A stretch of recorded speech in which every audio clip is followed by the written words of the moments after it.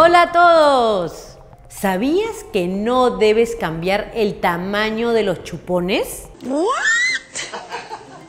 ¿What al recontra what? Aunque la industria fabricante de chupones te va a querer vender diferentes tamaños de chupones mientras que tu bebé va creciendo, los odontopediatras y ortodoncistas opinamos totalmente lo contrario. No me esperaba eso. Este es un tema que la mayoría de padres desconocen, así que espero que este video te ayude a despejar tus dudas. Cuéntamelo todo. ¿Por qué no recomendamos el cambio del tamaño de los chupones? Pues porque mientras más pequeño sea el tamaño del chupón, menos espacio ocupa en el paladar. Vaya, ah, eso explica muchas cosas. El problema principal del chupón es que altera la posición de descanso de la lengua.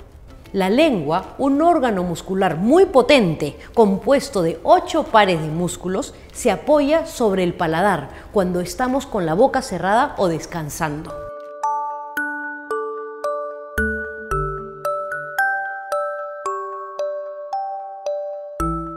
Esta presión muscular de la lengua hace que el paladar crezca a lo ancho. Cuando es el chupón o chupete el que se apoya en el paladar, obliga a la lengua a estar en una posición más baja, en la mandíbula.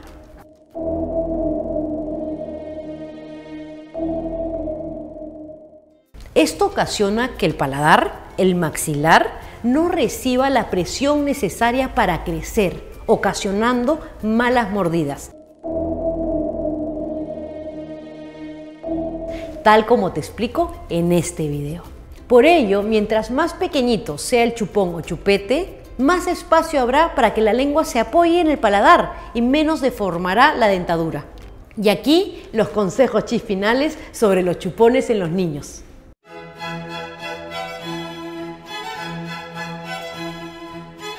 Si tu hijo usa chupón o chupete, cuando se quede dormido, intenta retirarlo suavemente de su boca y así la lengua se colocará espontáneamente donde le corresponde, en el techo del paladar. Recuerda que mientras menos tiempo use ese chupón de día y de noche, mejor para su mordida. Y ya sabes, el límite máximo para abandonar el chupón o chupete es a los dos años para evitar que afecte su dentadura de manera permanente.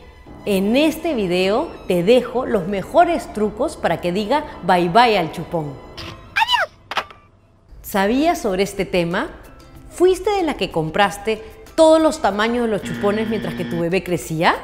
Cuéntame, así aprendemos todos. Me encanta vivir del chisme, dicen la metiche.